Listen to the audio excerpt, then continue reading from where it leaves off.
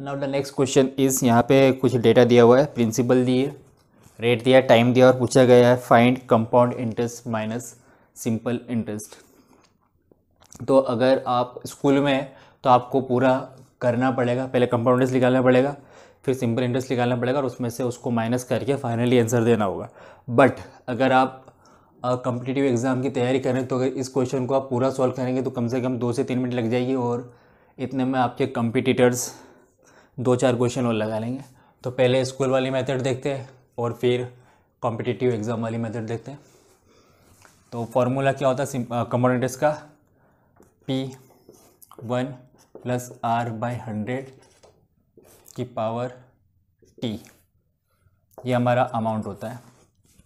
और अमाउंट का फॉर्मूला एक हमने पढ़ा था इंटरेस्ट प्लस पी इंटरेस्ट हो जाएगा ए माइनस पी तो इसको मुझे इंटरेस्ट बनाना है कंपाउंड इंटरेस्ट तो मैं यहाँ पे सी आई लिख दूँगा और यहाँ पे माइनस कर दूँगा पी का अमाउंट माइनस प्रिंसिपल मैंने ये फॉर्मूला बनाया सी आई का और एस आई का फॉर्मूला क्या होता है? अब इसमें से हमको पूरे को यहाँ पे निकालना क्या है? सी आई माइनस एस आई तो सी आई माइनस एस आई तो यहाँ पे एस आई का पूरा फॉर्मूला हम P into R into T upon hundred करेंगे और यहाँ पे वैल्यू पुट करके इसको सॉल्व करना स्टार्ट करेंगे।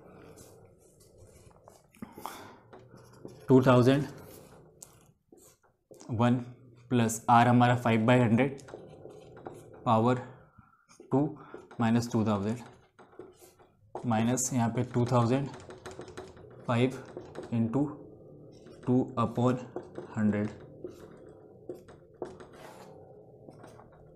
और इसको अगर आप सॉल्व करेंगे वन जा ट्वेंटी ज़ा. है ना?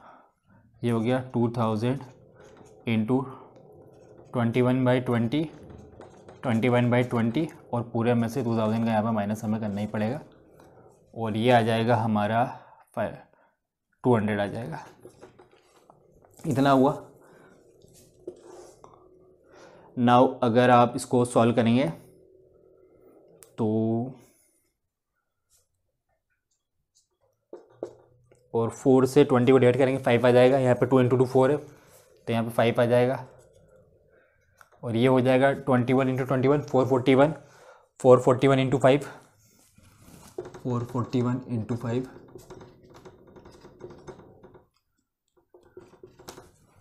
तो ये आ गया टू टू ज़ीरो फाइव ये मैंने इतनी पूरी टर्म को कैलकुलेट करके टू टू ज़ीरो फाइव लिखा माइनस टू थाउज़ेंड और पूरे में से टू हंड्रेड माइनस करेंगे।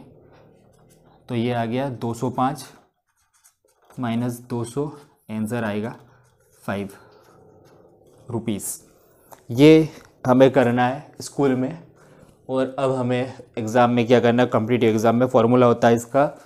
फॉर्मूला था अब पी आर बाई हंड्रेड की पावर एन पी क्या है? टू थाउज़ेंड आर क्या है? फाइव बाई हंड्रेड की पावर टू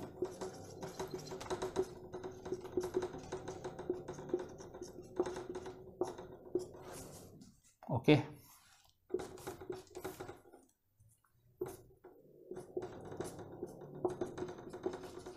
आपको दिख रहा होगा आंसर सेम आ रहा है। तो जो शॉर्ट ट्रिक है इसको करने की, वो ये फॉर्मूला है। इस फॉर्मूले से निकालते हैं अपन compound interest minus simple interest ये आप याद रखिएगा। ये आपको काम आ सकती है एग्ज़ाम में, अगर इतना लंबा कैलकुलेशन करने से बचना है तो आप इसका यूज़ कर सकते हैं। ओके हम अगले वीडियो में कुछ और क्वेश्चन देखते हैं।